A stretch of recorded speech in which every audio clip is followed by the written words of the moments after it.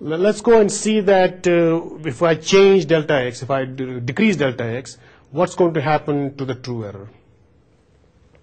So I drew a I'm going to draw a table here. I'm going to show you what the values of uh, delta x are, what the value of f prime of x is, um, and then I'm, I'll put down what the true error is.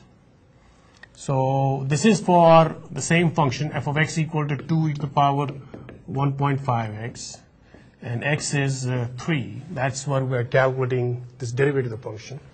So when delta x is 0.1, I just calculated what the value of the derivative of the function is, 291.35, and the true error is minus 21.30. If I choose 0.05, which is half of what I have now, I get 280.43.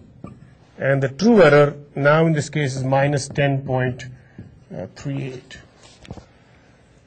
Uh, I choose 0.025, which is again half of what I had chosen previously.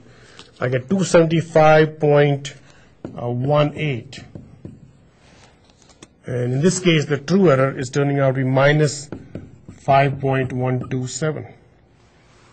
So what I'm trying to show you here is that as you keep on making delta x to be smaller and smaller, the values that you are getting for the derivative of the function are getting closer and closer to the exact value. So let me write down the exact value right here, which is 270.05.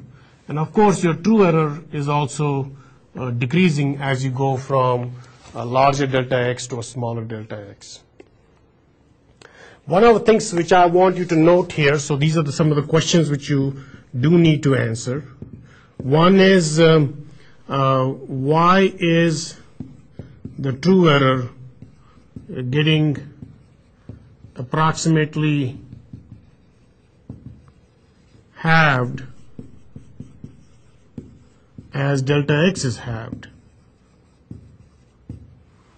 Uh, What I, what I mean by that is that if you look at delta x is 0.1, you are making delta x here to be half of what it was before, but look at the true error, it's 21.30, and now it is approximately half of that.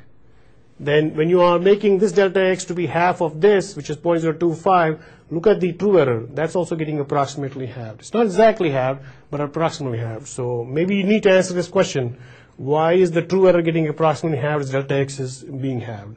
And keep in mind, this is not coincidental. This will happen in almost every case, that as you keep on decreasing your delta x, uh, having the delta x, the true error is also going to halved. The second one is that how, using relative approximate error, can you get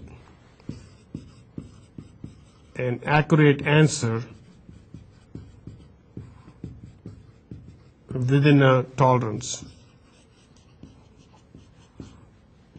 What I mean by here is that uh, if we don't have the privilege of knowing the exact value, the exact value is 270.05, but as we said, the numerical methods are not used to calculate exact values. They are used to calculate approximate values. How can I use the concept of relative approximate error coupled with the number of significant digits which we talked about? uh, how can we calculate an accurate answer within a pre-specified tolerance? So somebody is telling me that I want to calculate my derivative of the function for this particular case, uh, that at least I want two or three significant digits to be correct.